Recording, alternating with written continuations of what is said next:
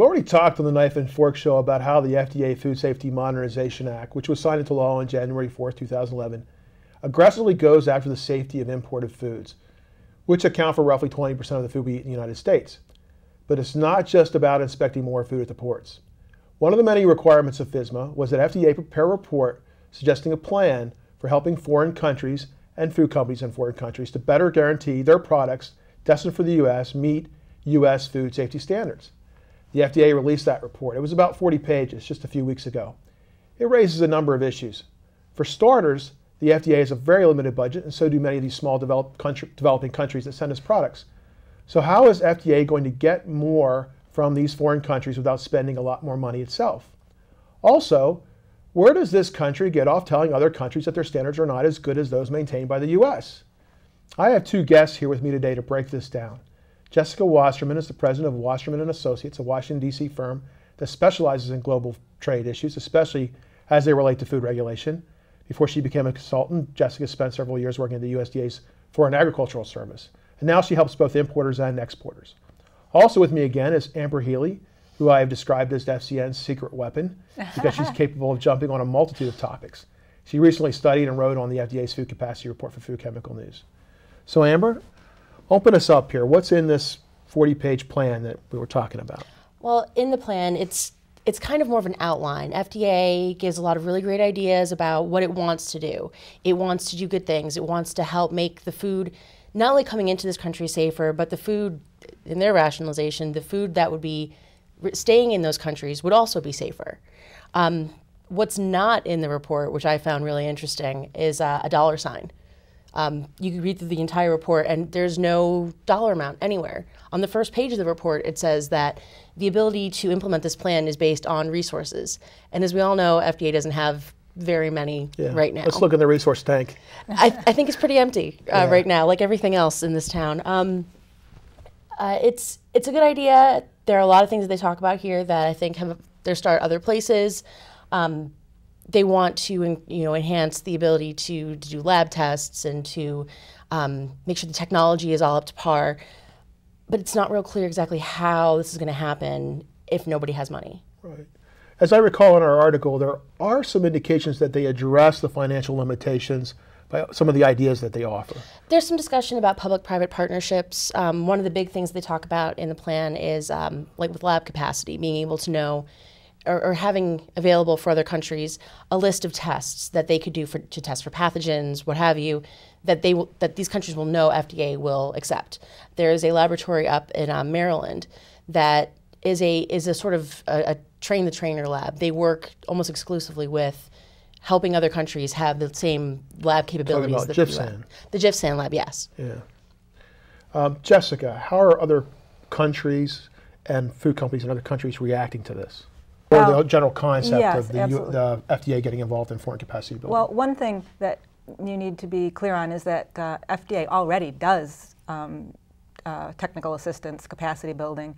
And really, USDA does it too through USAID, and even in the area of food safety um, prior to the Food Safety Modernization Act.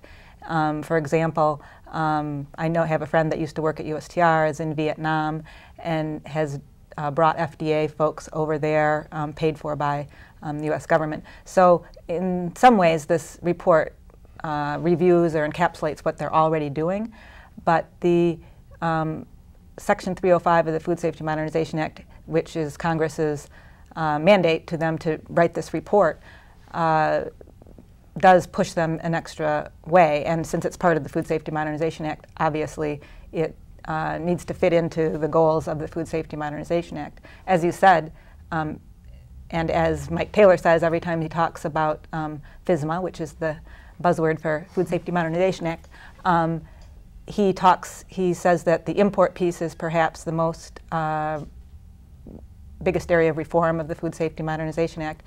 If you're um, on the receiving end of this as an exporter to the U.S., you're obviously very concerned about how you're going to meet these new, stricter um, market access requirements, food safety requirements.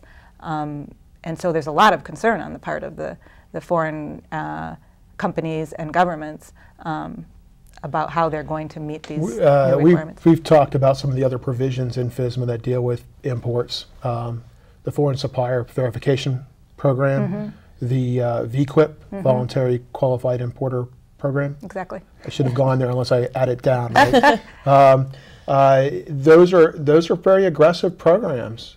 Um, do you get the sense from the people that you talk to who represent other countries that they're embracing these ideas, or do you get the sense that they're a little bit irritated?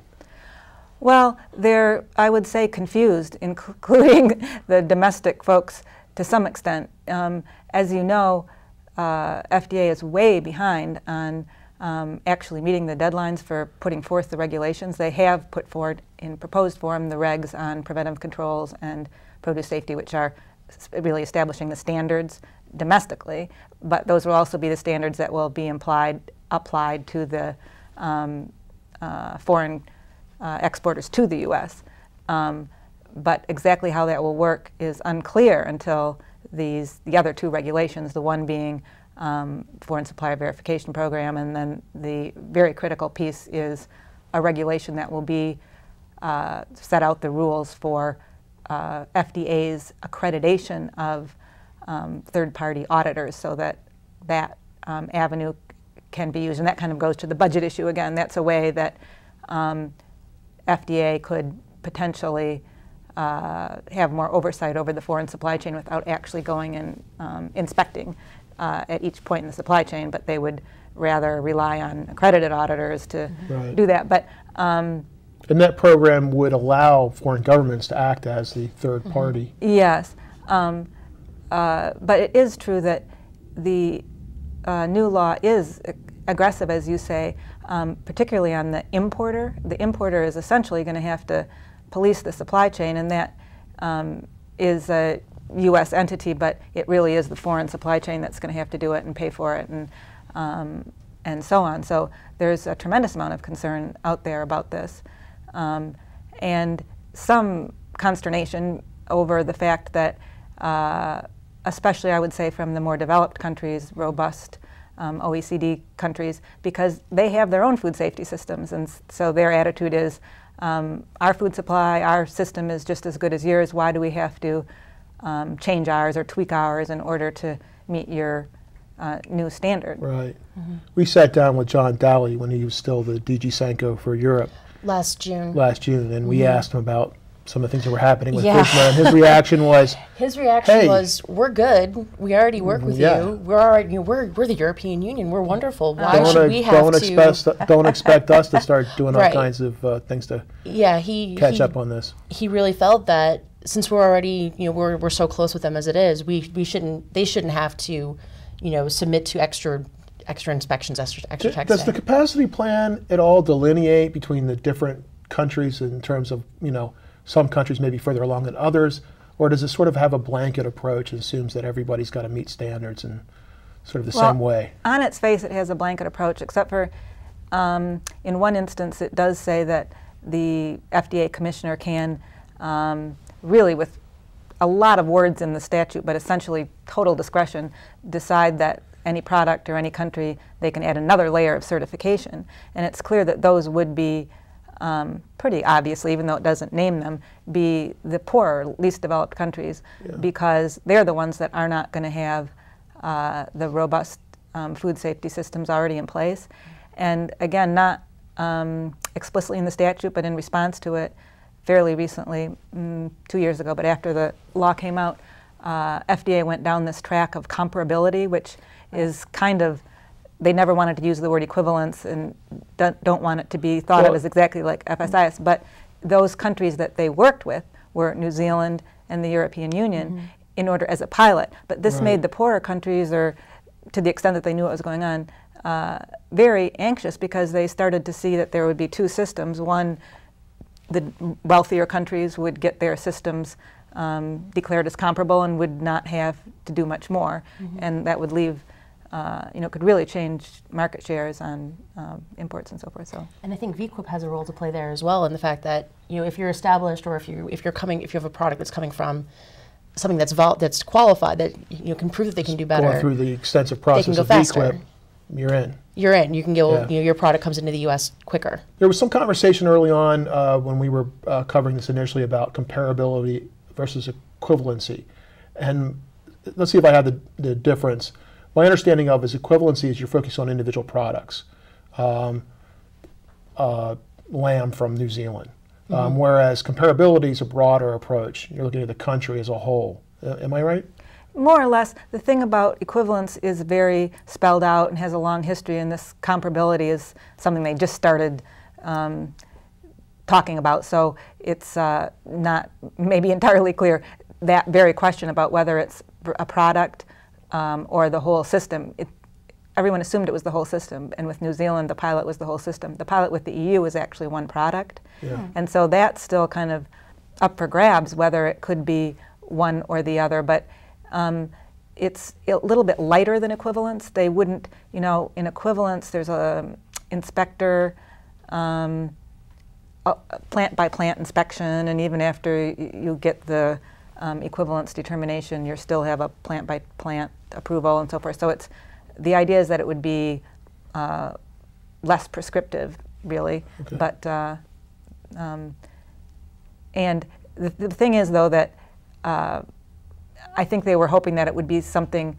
A lot of the criticism of equivalence is it takes years sometimes mm-hmm. to get it. Yeah. And uh, however, the New Zealand pilot, you know, and think the size of New Zealand and the um, that it is very um, advanced system still took them more than a year to mm-hmm. even compare documents and so forth. So I think that you know FDA has really bitten off um, oh, yeah. Um, as much as it can chew, and I think yeah. has maybe given up on that approach temporarily mm. anyway. Mm. Um, uh, so, but that's not going to solve the problem that I think that concerns me personally, which is the uh, poorer countries that have, you know, especially in areas uh, like produce, you know, a lot of um, Central American, small Central American countries and um, rely on exporting those products to this market. It would be um, really unfortunate if they got pushed out because of not being able to have the standards that um, the U.S. is demand now. I want to. We're running out of time, but I want to mm-hmm. ask you for one final thought, and if you could very quickly summarize this. How do you think this is going to play out? Um, the well, I think when you say it, this um, technical assistance, I think that it's just going to putter along the way there has been technical assistance. They'll keep trying to um, do as much as they can, but there just aren't many resources. It's very expensive to go, mm-hmm. and um, I mean, technical assistance is a wide range of things. They can still, at a low cost, probably um, educate through webinars and so forth about the U.S. standard. But to really travel abroad and really help other countries stand up a system, I just don't think that's going to happen. And I think there's going to be more and more um, political and economic uh, tension over uh, the impact of this on the you know SME small companies and especially those in poorer countries. And as a broader foreign policy um, goal of the U.S., you know, we've had USAID and foreign assistance and yeah. really helping these countries to in just these areas in the area of food. So I think that uh, you know over the long term there have to be some sort of compromises. Uh, I can say one thing: this is going to keep us, you, and us very busy. Very. So that's it. We're out of time. Thanks to Jessica and Amber for being with us today.